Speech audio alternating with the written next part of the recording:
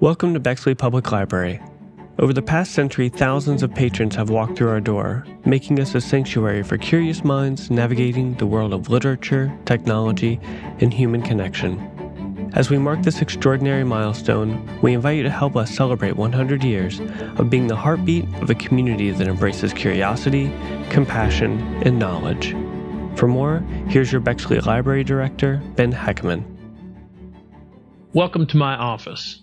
Since 2017, it's been my honor to hold the position of library director for this amazing library serving this incredible community of ours.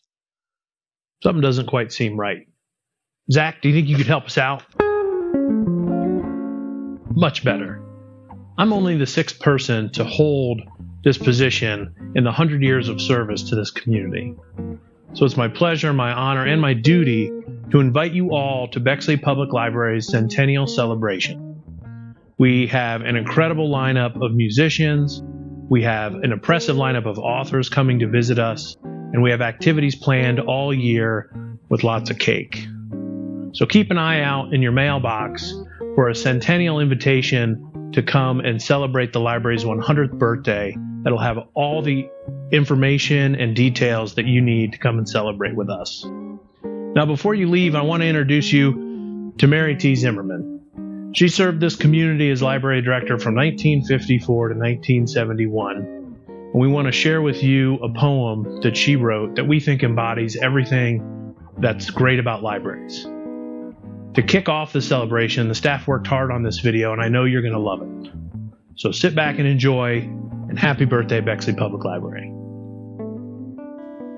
Teach me to read and let me be reading about a million things fireflies, pyramids, Saturn's rings, lands that I may never see.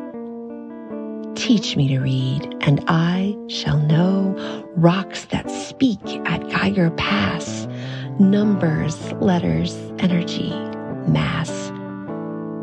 Tides moon moved from high to low. Teach me to read. Let me learn of yesterday's child, tomorrow's man.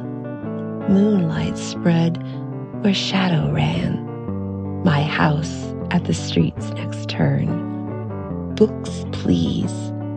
I will quickly feed my hours that pass each single day with songs to sing, words to say, and friends for every present need.